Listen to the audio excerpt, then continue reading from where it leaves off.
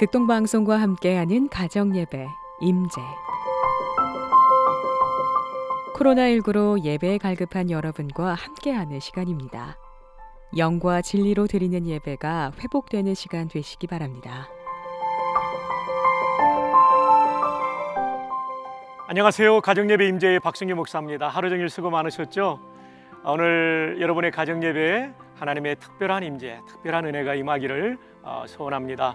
그리고 축복합니다.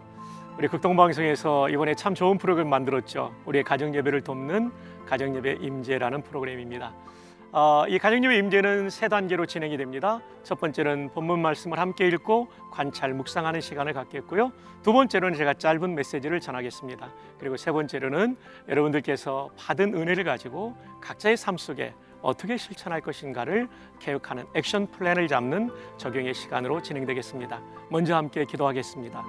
하나님 아버지, 이 어려운 가운데서도 저희들을 보호해 주심을 감사합니다. 모두가 자기가 주인이 되고 자기가 왕이 된 이 시대 속에서 하나님만을 왕으로 주인으로 모신 인생 되게 하여 주옵소서. 예수님의 이름으로 기도합니다. 아멘.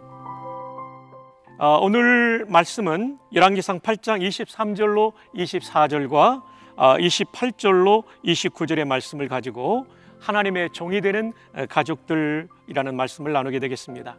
먼저 오늘 본문 말씀을 함께 관찰하겠는데요. 말씀 낭독 후 음악이 잠시 흐를 텐데 여러분이 이 말씀을 묵상하면서 가장 중요한 단어 또 문장을 한번 찾아보시기를 바랍니다.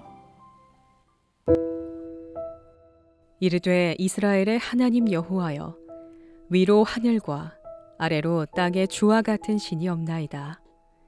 주께서는 온 마음으로 주의 앞에서 행하는 종들에게 언약을 지키시고 은혜를 베푸시나이다. 주께서 주의 종 내 아버지 다윗에게 하신 말씀을 지키사 주의 입으로 말씀하신 것을 손으로 이루심이 오늘과 같으니이다. 그러나 내 하나님 여호와여 주의 종의 기도와 간구를 돌아보시며 이 종이 오늘 주 앞에서 부르짖음과 비는 기도를 들으시옵소서. 주께서 전에 말씀하시기를 내 이름이 거기 있으리라 하신 곳 이 성전을 향하여 주의 눈이 주야로 보시오며 주의 종이 이곳을 향하여 비는 기도를 들으시옵소서. 열왕기상 8장 23절과 24절 그리고 28절과 29절 말씀입니다.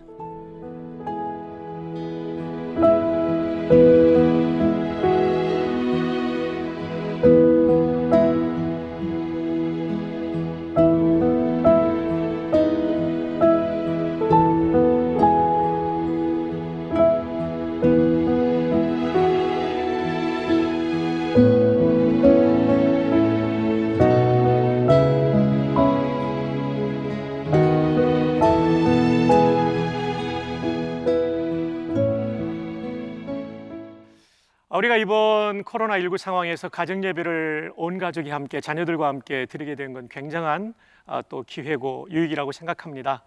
아, 이 시간을 통해서 신앙의 세대 계승이 잘 이루어지기를 바랍니다. 아, 제가 읽은 리더십의 책 가운데 이런 내용이 있더라고요. Success, 성공이란 얘기죠. 진짜 성공이 뭐냐? Success without a successor. 여기까지 하면 어떻게 되죠? 계승자가 없는 성공 is 그것은 뭐냐면 not real 실제 아니라는 거죠. success 다시 한번 합니다. 계승자가 없는 성공은 진짜 성공이 아니다.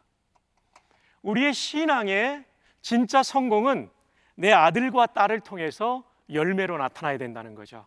근데 오늘 성경이 그것을 우리에게 보여주고 있습니다. 오늘 성경 말씀은 솔로몬이 어, 성전을 다 지은 다음에 하나님 앞에 봉헌 기도를 드립니다. 내용을 한번 볼까요? 23절 이르되 이스라엘의 하나님 여호와여 위로 하늘과 아래로 땅에 주와 같은 신이 없나이다. 주께서는 온 마음으로 주의 앞에서 행하는 종들에게 언약을 지키시고 은혜를 베푸시나이다. 이 말씀의 핵심은 뭐냐면 하나님이 언약을 지키시고 은혜를 베풀어 주는 인생은 어떤 인생인가? 주님 앞에서 행하는 종들, 온 마음으로 하나님을 주인과 왕으로 모시고 그 앞에서 순종하는 종이 될 때, 그러면서 이런 얘기를 합니다. 24절에 주께서 주의 종 내 아버지 다윗에게 하신 말씀을 지키사 자기 아버지를 대왕이라고 부르지 않고 주의 종 내 아버지 다윗 세 번 나옵니다. 그리고 28절에도 보면 그러나 내 하나님 여호와여 주의 종의 기도와 간구를 들으시오며 이 종일 오늘 주 앞에서 부르짖음과 이래서 솔로몬 자신을 가리킬 때도 종이라는 말을 계속해서 쓰고 있어요. 여러분 역사상 가장 위대한 임금들이 하나님 앞에 종으로 살았습니다. 그리고 아들이었던 솔로몬이 볼 때에도 아버지 다윗 왕이 왕이라는 호칭보다는 하나님의 종이라고 불려지는 것을 어, 좋아할 정도로 그리고 그것을 마음속에 품고 자기도 하나님의 종이라고 할 정도로 신앙의 세대 계승이 이루어지는 거죠. 여러분 신앙생활에 정말 중요한 게 뭔지 압니까? 내가 주인 된 삶이 아니라 하나님이 주인 되시고 내 마음대로 하는 삶이 아니라 하나님 통치를 받는 하나님을 왕으로 모시고 종으로 사는 삶이 신앙생활에 가장 중요한 것이고 이것이 우리 자녀들에게 세대 계승이 이루어지기를 바랍니다. 고대의 종은 네 가지가 없었다고 합니다. 첫 번째 내 뜻이 없었어요. 두 번째 내 돈이 없었어요. 세 번째 내 자녀가 없었어요. 네 번째 내 생명이 없었어요. 정말 좋은 종은 내가 아무리 하고 싶어도 주인이 안 돼 하면 안 했어요. 그러면 해 하면 또 했어요. 내가 아무리 돈을 많이 가지고 있어도 주인이 쓰라는데 항상 썼어요. 그리고 내 자녀, 내가 이렇게 하고 싶지만 주인이 맡긴 일을 시켰어요. 마지막에 내 생명까지도 주인의 뜻대로 바쳤던 거죠. 여러분, 여러분의 자녀를 키울 때 자녀가 왕이 아니고 자녀가 주인이 아니고 하나님이 주인이고 왕인 삶을 여러분이 살고 자녀들도 살 수 있도록 자녀들을 키울 때 꼭 그렇게 해야 돼요. 요즘 뭐 그런 말도 있더라고요. 대학에 대해서 너무나 강조하다 보니까 대한민국에 3대 종교가 있는데 기독교, 불교, 대학교라고 하더라고요. 부모 여러분, 대학교가 종교화된 시대를 우리는 살아가고 있어요. 그것이 마치 주인이요 왕이 된 시대를 살고 있어요. 근데 여러분 아시잖아요.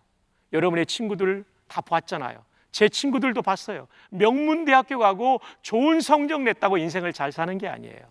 하나님을 주인으로 모시고 하나님을 왕으로 모시고 나는 종이 되어서 내 뜻도 내 돈도 내 자녀도 내 생명도 그 하나님께 순종하며 살아갈 때 그 인생이 가장 행복할 것입니다. 오늘 말씀을 나눌 때 여러분의 삶의 영역에서 어떤 것을 순종함으로 하나님을 주인이요 왕으로 섬길 수 있는가를 구체적으로 적용하는 그런 시간 되기를 바랍니다.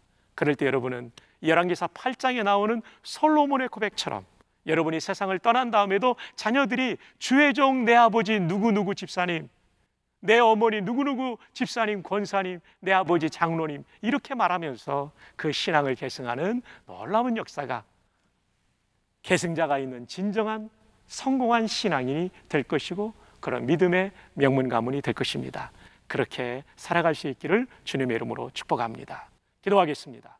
이제는 우리의 영원한 왕이요 주인 되신 구주 예수 그리스도의 은혜와 아버지 하나님의 크신 사랑과 성령님의 교통하심이 오늘 말씀대로 나와 내 자녀들이 오직 하나님만을 주와 왕으로 모시기로 다짐하고 결단하는 가정들 머리머리 위에와 어려운 가운데 하나님의 은혜가 필요한 조국 대한민국 위에 그리고 한국교회 위에 지금부터 영원 무궁토록 영원 무궁토록 함께 있을지어다.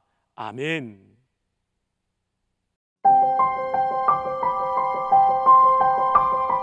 여호와를 경외하며 그의 길을 걷는 자마다 복이 있도다.